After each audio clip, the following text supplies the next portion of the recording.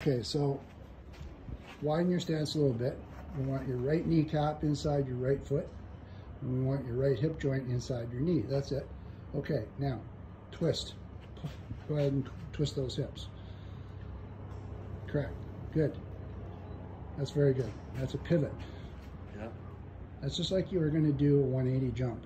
yeah. And then pivot back. Right. Push down. Push down. Push there you go. Now that leveled you out and made your hips turn.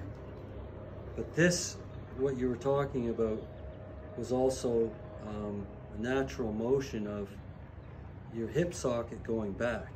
Back and slightly up. There, that's good. when you're walking. That's great. So the hip sockets on both sides are actually going back and up. Correct. Okay, Symmetrical. yeah, They are. You're very symmetrical. great. Because I always had a slide going. Yeah, that's right. So now I got a hip socket going this way and this way. Right. So this allows your pelvis to drive more speed into your torso. And your torso moving faster allows your arms to move faster and your club to move faster. Yeah, And that all adds up to easier scoring if you can hit the ball farther and well.